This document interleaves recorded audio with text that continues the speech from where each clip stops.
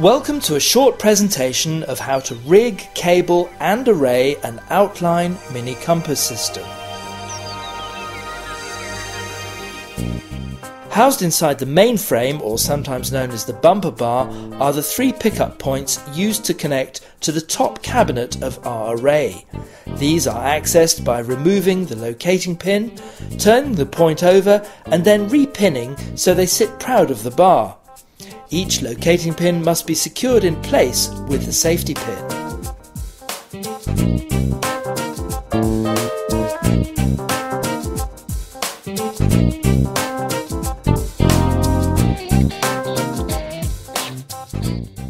Turning the flybar over, you'll find a series of holes running along the spine. These are used to locate the single point pickup that in turn attaches to the hook of the winch. Please refer to your open array prediction to guide you to which hole the pickup point should be located. Push the location pin through and again safety this on the other side. We can now start to attach the cabinets. Bring the flight case, housing the mini compass, directly under the bar. Lower the main frame so the front of the mini compass lines up with the front two pickup points of the bar.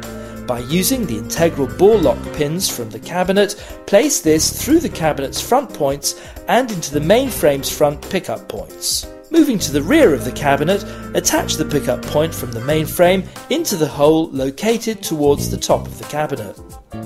The rear connection bar dictates the angle between the cabinets. Again, please refer to your open array prediction for required angles on each cabinet. As you winch the first two cabinets up, attach the rear connecting bar from the first to the second cabinet. You're now ready to repeat the procedure for the next two cabinets. Before winching, a simple safety check to see all pins are located is recommended.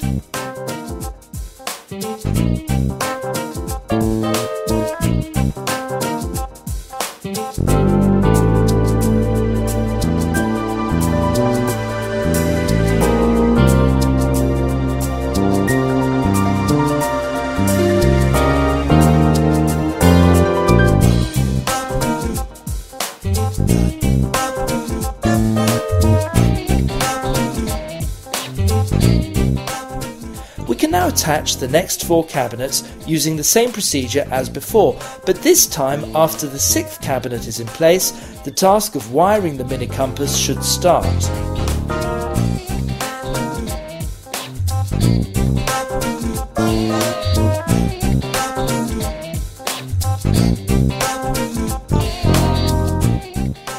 Each mini compass requires power, signal, and data control. The mains power inlet is located on the right of the amplifier module and is in the form of a Neutrik PowerCon.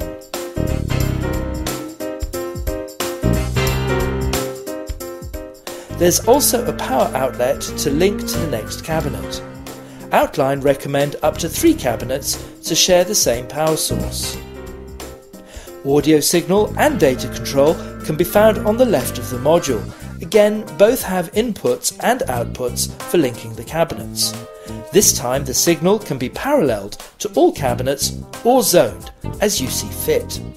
Data must be linked to all cabinets if you want to remotely control all of the cabinets.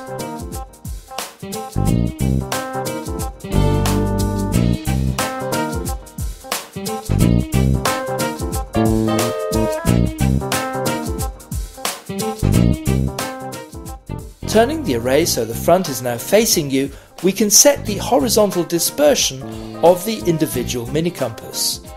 By simply pulling on the lever located on the side, the louver can move in 15 degree increments at a time, creating the desired dispersion required.